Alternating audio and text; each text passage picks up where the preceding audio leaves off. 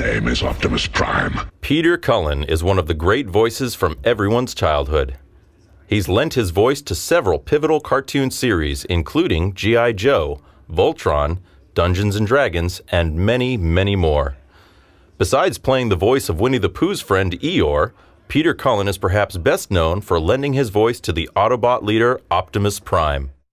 You've caused enough destruction for one day, Megatron. Cullen pioneered the role of Optimus Prime and has been part of the Transformers legacy since its inception in 1984. He has really helped shape the character of Optimus Prime over the years, giving him qualities of honor, valor, integrity, and it's those qualities that have really kept Optimus relevant for this next generation. Autobots, roll out! You hear him say, Autobots transform and roll out, and there's like chills that go up your spine. That booming voice, so authoritative, so clearly in charge. He really brought it to life. If Peter weren't the first inductee, Optimus Prime would have to introduce the rest of the inductees. So I think that that's how central Peter is to Transformers Hall of Fame. Just remember, there's a thin line between being a hero and being a memory. I think Peter has put a lot of himself into the character of Optimus Prime, and a lot of his personal experiences have really helped bring that character to life. We cannot let the humans pay for our mistakes. You know, Optimus and Peter are really like that father figure you kind of always wish you had. He's so clear about what the rules are. He's so clear in knowing how to lead the team. One shall stand, one shall fall.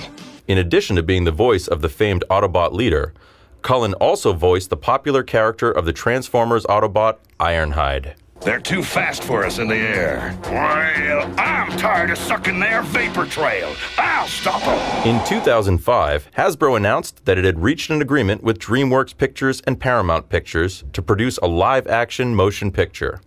This resulted in several fan campaigns petitioning for Peter Cullen to return as the voice of Optimus Prime. And in performance, he's tremendous, and he leads the charge and he inspires the rest of the cast to be just that good.